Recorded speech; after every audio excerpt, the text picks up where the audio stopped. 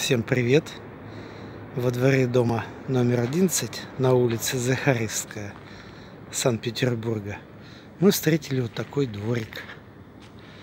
Помимо детского городка, здесь такие мультяшные герои. Пятачок с Винни-Пухом, сова из этого же мультфильма, ослик Иа, почтальон Печкин и кот Матроскин из мультфильма «Каникулы в Простоквашино». Дядя Федор с зайкой. Песик из этого же мультфильма. Ну и, конечно же, герои мультфильма «Ну, погоди».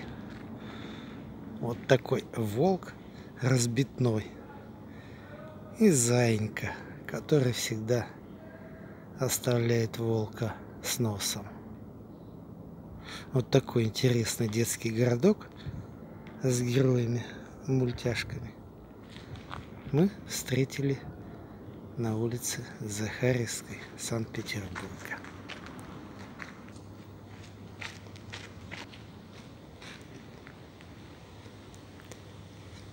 Всем пока-пока.